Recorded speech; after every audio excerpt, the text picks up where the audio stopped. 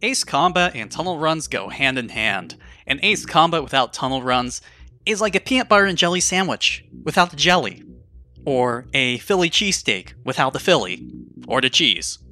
When it comes to tunnel run opportunities across the entirety of the Ace Combat series, I believe that Anchorhead Bay in Ace Combat 7 has the most opportunities. Take a look at this map I made of all of the potential tunnel run locations in Anchorhead Bay. By the way, hello there, ladies, gentlemen, and parking lot attendants. I am Silly Goodness. Please subscribe.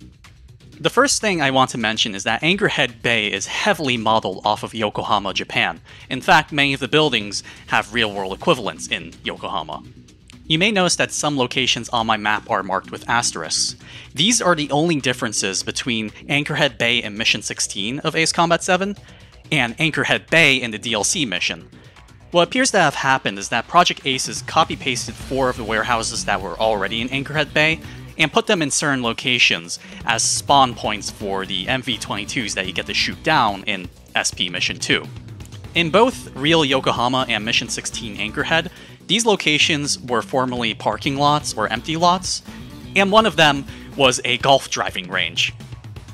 Now I have that out of the way, I'm going to talk about the locations that I have marked on this map, First up are the warehouses.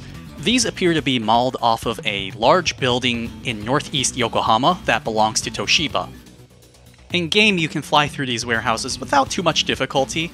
Most of the complications with flying through them arises not from the size of the tunnel itself, but the buildings around the warehouse that make approach and exit more difficult. Here is me flying through one of them. Next up are the large warehouses that resemble parking garages.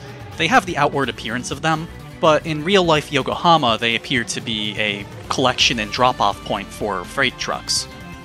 In game, these structures have three different levels that you can fly through, and it is a pretty tight fit. In fact, when you watch me fly through one of them, you'll just see the tail of the uh, F-104 just casually clip through the roof. No big deal.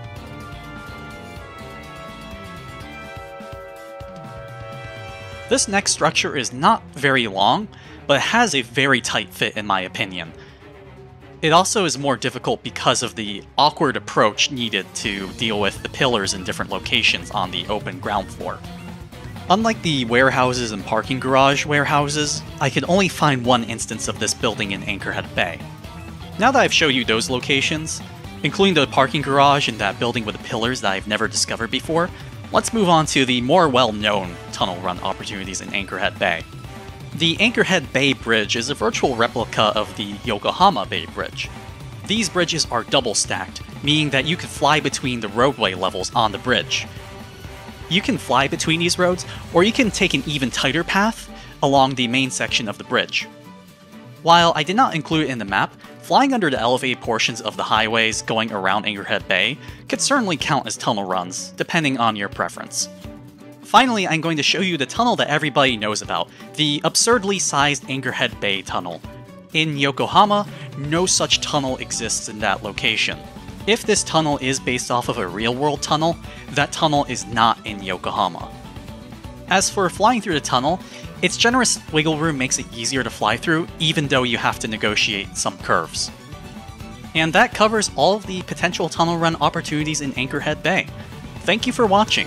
Please like the video, comment, and subscribe if you'd like to see content directly or tangentially similar to this one. Goodbye.